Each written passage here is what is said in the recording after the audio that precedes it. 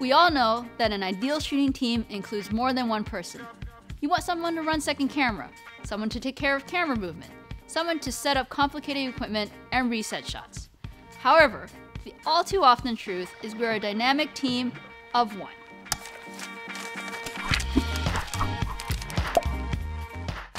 This might not come as a surprise, but I'm kinda small. Hauling camera equipment can be a challenge, but the second shooter is a lightweight motion control system. I can haul it plus all the other gear I would need to make this work in a backpack. Helpful, right? Especially for remote shoots. Easy enough to take with you anywhere you go. And it's quick, as in, pull it out of your pack for the first time, then up and running in five minutes. Easy peasy. And it's intuitive too, so the learning curve is quick if, say, you need to teach a PA how to use it. And because it's so easy to learn, you can use it to focus on the story rather than living inside the gear. With the 3 axis system, you can get a bunch of different shots, including slides, pans, tilts, and even parallax type moves. Beyond how easy this thing is to set up and use, it's diverse. It can handle the monster cameras and the itty bitty little cameras. Look how cute this little guy is. I recently used Second Shooter in our storytelling parade film about a nonprofit called Chess for Success.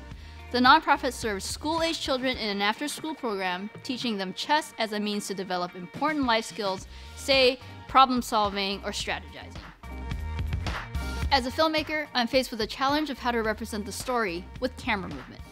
The second shooter, with its very precise movements, are the perfect tool for this. What we've done here is replicate the same precise camera moves over and over. We then layer the images over one another and lower the opacity in post to produce the decision-making process represented visually. 15 pieces, each with their own strengths and weaknesses. 8 pawns, 2 knights, rooks, bishops, 1 queen.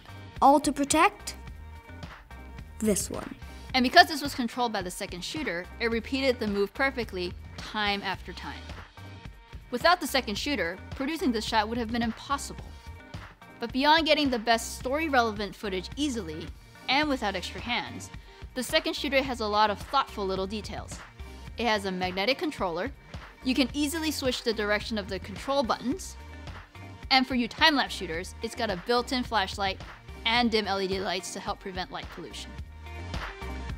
And there you have it, a whole second shooter inside your backpack. Okay guys, that's not gonna work.